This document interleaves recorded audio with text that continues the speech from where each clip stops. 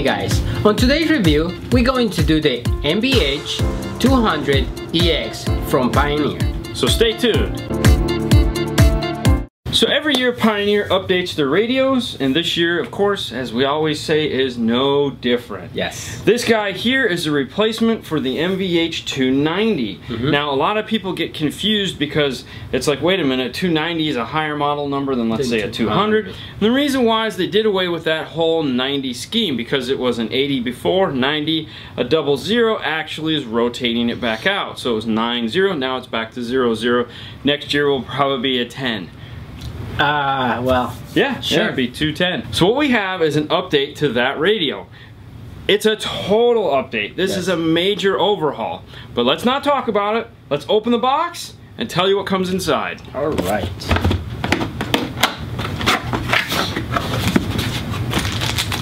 You have the standard 5 foot USB.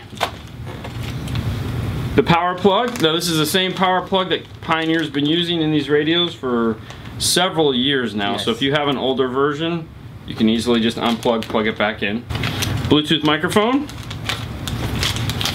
bag of screws, and we have a quick start guide and a warranty card. That's right, just a quick start guide. Pioneer for most of the radios this year are going to online owner's manuals, so you have to download them there. And you can get that at pioneerelectronics.com.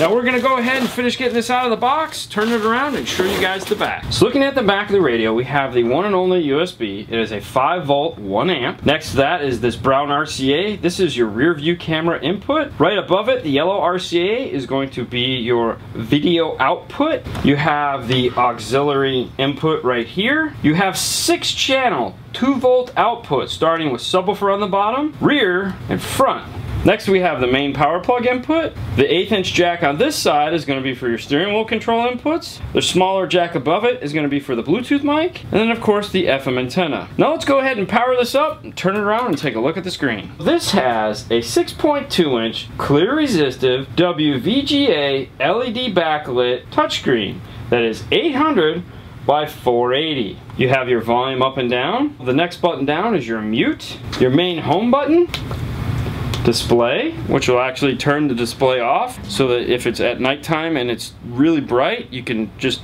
turn the display off so you can see better. Tap the screen, it will come back on. If you press and hold the menu button, It'll actually turn the radio's main power off. This is a power off feature, meaning it's it's dead. Hit any button, it'll wake back up. Next is your track up and track down features, as well as way over here in the corner, this little dot is the reset button. Now the one thing you'll notice is this does not have a CD DVD player slot. It has no spinning media whatsoever. So if you want one that has that, you want the AVH, not the MVH. Now let's go ahead and go into the menu and take a look at one of the first new features That is going to be here at the art palette, which is going to be backgrounds and displays, commonly called themes.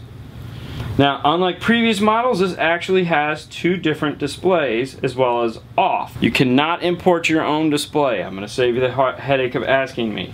Illumination. This has now five illuminations as well as the rainbow as well as you can actually set your own illumination color now for the buttons on the side. Themes you now also have five themes.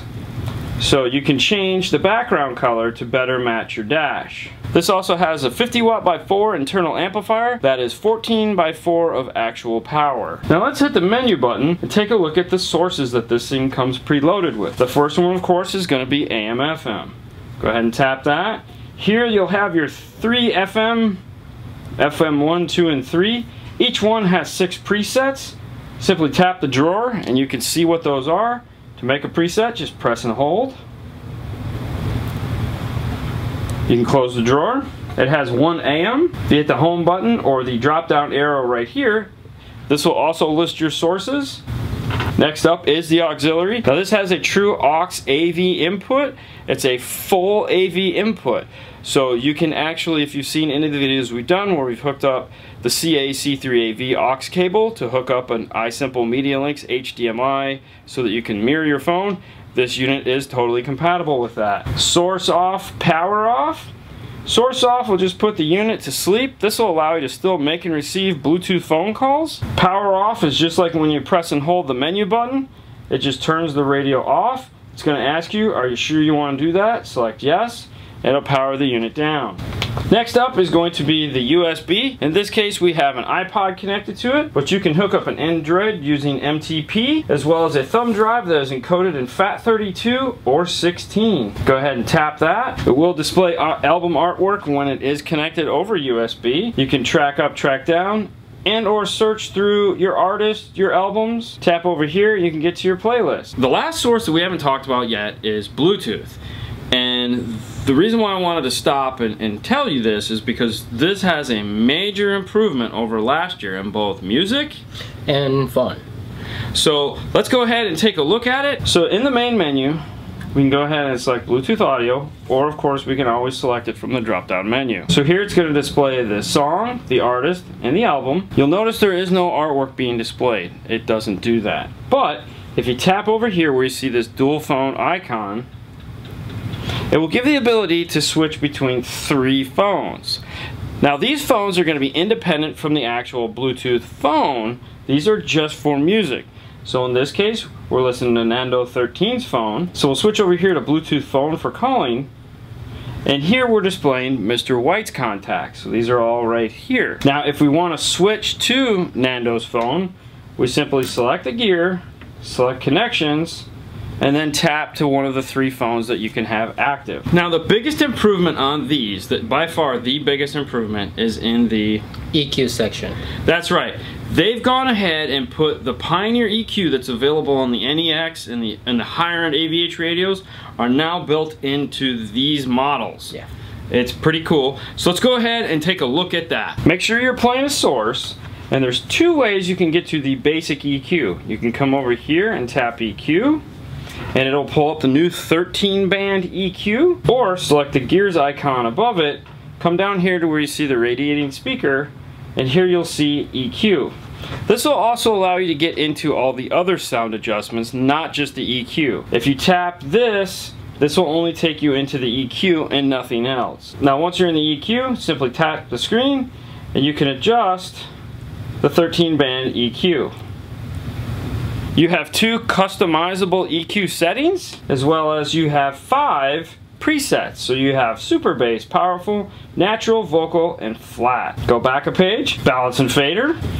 Source level adjust. Source level adjust is a great tool to have because not all devices have the same output level.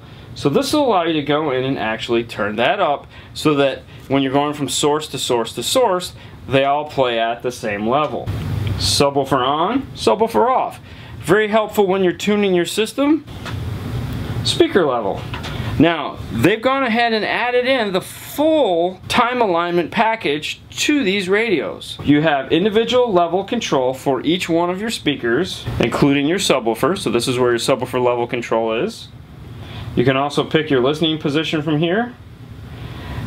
Now, when you pick your listening position from here, it's going to just give you a basic default setting. Of course, you can go in and adjust it any way you want. Page down, crossovers. So you have front, rear, and sub crossovers. They can be independent, so you don't have to keep your rear crossover the same as your front crossover. If you toggle back, you can get into your subwoofer crossover as well. You simply tap these arrows here to adjust the frequency and then you can come over to these two arrows here and adjust the slope. Subwoofer settings is just a fast key to the subwoofer crossover. Listening position is a fast key to the listening positions that were the same ones that were in the speaker level control. Time alignment. Time alignment is where you go ahead and add in the distances to make the time alignment actually work properly. You want to measure between your ear and the speakers around you and then simply put those numbers in here and you're all set and ready to go. Bass boost.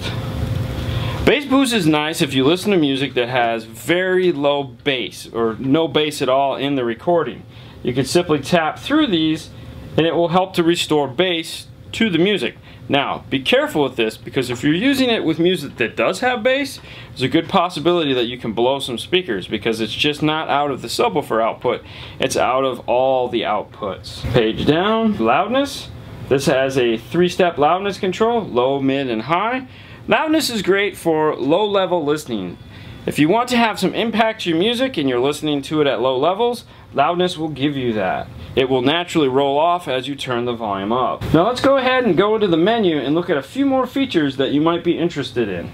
If you select AV source setting, this will allow you to turn the Bluetooth on and off if for some reason you don't want Bluetooth. Auxiliary input on and off. The reason why you might want to turn this off is so that it doesn't appear in the drop down menu. Camera settings. As we said at the beginning, this has an input for a backup camera. This is where you connect it. So when you hook up power to the purple white wire in the main harness, you have to come in here and make sure you turn it on or it will not work. Now once you've gone ahead and turned it on, if you come over here to your drop down menu, you will notice it's populated with a camera view. That's how you know if you've actually turned it on or off, if you see this in your menu selection. System language, you have the five languages to choose from. English, Spanish, Portuguese, French, and Chinese. And then last but not least, restore settings. Restore settings is great for like when we do demos like this to where we're touching every button in the radio and could possibly screw things up. Or for you at home where you just want to go through and touch everything and adjust it and do mad crazy things, go ahead and select restore settings, restore. Now to do restore settings, you do have to make sure that the light green wire is connected, that's the emergency brake wire. Anytime you see a feature that is grayed out, more than likely it's because that wire needs to be engaged. All right guys, that is the MVH 200EX. You excited? Yeah, I'm excited. Well, end the show, so All go home. If you like this video, please subscribe, share, like. You know where you find us.